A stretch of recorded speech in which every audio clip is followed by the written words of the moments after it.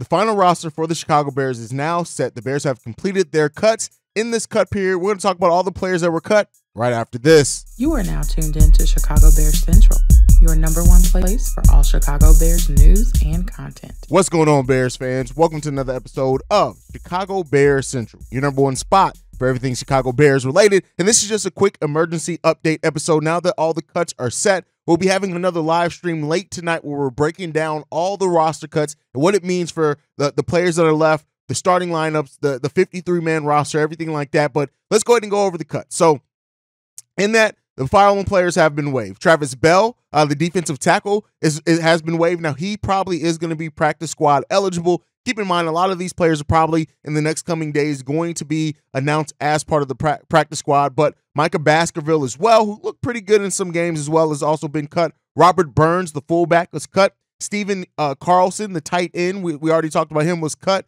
Macon Clark was cut as well. Kellen Diesch was cut. Dieter uh, Eastland was cut as well. Uh, Demarcus Gates, the linebacker. Trevis Gipson, defensive end, has been cut and waived by the Chicago Bears. No trade coming for Trevis Gipson. Jalen Harris is also cut. That's another defensive end. Bobby Haskins, DeAnthony Jones, another defensive end who may be practice squad eligible. Josh Lugg, um, uh, Michael Ojemudia. I, I know I completely murdered his name. Uh, we talked about him already. Bravvion Roy, uh, Pitts, uh, Logan Stenberg, Davion Taylor, Bralen Trahan, Kindle Vildor has cut. Kindle Vildor's off our damn roster. Thank God. Barrington Wade is also cut. Mykal Walker, surprisingly, is cut. Now, this is a guy who was a starter in Atlanta, had over 100 tackles last season. I thought he was going to possibly make the roster. Looks like he's also cut. Kendall Williamson, also a young safety as well, uh, is probably going to be on the practice squad. He's also been cut. Uh, so there you go. Uh, it also looks like they've a number of veterans have also been terminated from their contract. So Andrew Brown, defensive tackle, cut. Avante Collins was also cut. Uh, Fontaine, we have already talked about. Or Fontaine, we've already talked about. Uh, Nathan Peterman also cut, making um uh, making uh, you know it, it clear who's going to be that number two overall starting uh, or number two quarterback for the Chicago Bears. And you know it it the Tyson Bagent who's come in now and is now the clear the only second the only other quarterback on the whole roster other than Justin Fields. That's a big uh, ringing endorsement from the Chicago Bears. The fact that they feel confident enough about an undrafted rookie being their backup quarterback that Nathan Peterman's also cut. I didn't expect Nathan Peterman to be the QB too, but the fact that he's cut says a lot about how they feel about him. Webster, Stroman, all cut as well. So that's what we've talked about. Uh, it, uh, tomorrow the Bears can establish a 16 man practice squad. Um, so with and six of those players having unlimited NFL experience. So we'll be we'll be finding out tomorrow who's going to be on that practice squad for the Chicago Bears. But hey, the Bears have now made their cuts. Kind of some of the surprising things with that. Um, looks like all the all the uh, running backs stayed on, which we talked about. D'Onta Foreman, Khalil Herbert, Travis Homer, Roschon Johnson, and fullback uh, uh, Blasingame are all on the roster. Of course, Justin Fields, Tyson Bagent stay, and the Chicago Bears will be will be carrying six wide receivers on their roster. When you look at Chase Claypool, uh, Darnell Mooney, DJ Moore, all being on that roster as well.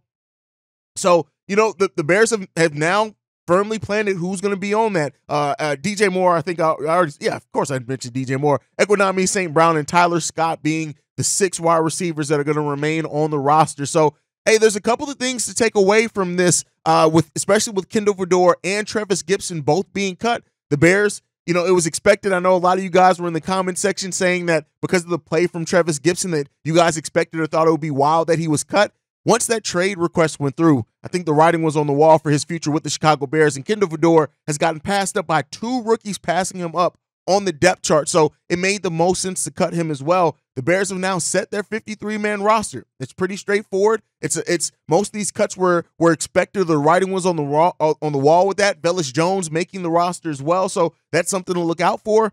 And we'll we'll end up seeing the Bears now have their 53 man roster with 16 man practice squad coming here tomorrow. By the end of tomorrow, we'll be able to talk about that. I may have an emergency episode out depending on when that's released on that topic. But hey, let me know what you guys think. Are there any surprising cuts for you on this cut? I think the Bears, not that they played it safe. I think, especially Trevis Gipson, with the way he played in a couple of those preseason games, maybe looked at a surprise for some people. But overall, I don't really feel like this is really a, hugely surprising cut period for the Chicago Bears. Mykal Walker was one that I definitely thought the Bears would try to keep just for depth at that linebacking position, especially with Noah Sewell uh, possibly out. But you know, my, uh, Matt Eberflus has also come out today and basically the only person that they're not not that they're expecting not to be available week one is um, Teven Jenkins, and you know he's going to be week to week, which uh, Matt Eberflus has said. But we're going to break this all down in more detail tonight as we go live. So make sure you guys hit the subscribe button and the notification bell to be notified when we go live talking about the Chicago Bears cuts tonight and that 53 man roster. Make sure you're following us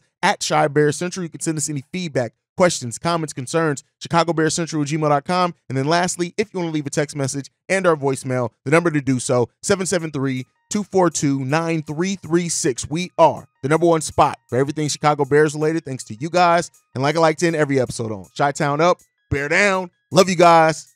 Peace, y'all. This has been a presentation of the Break Break Media. Media.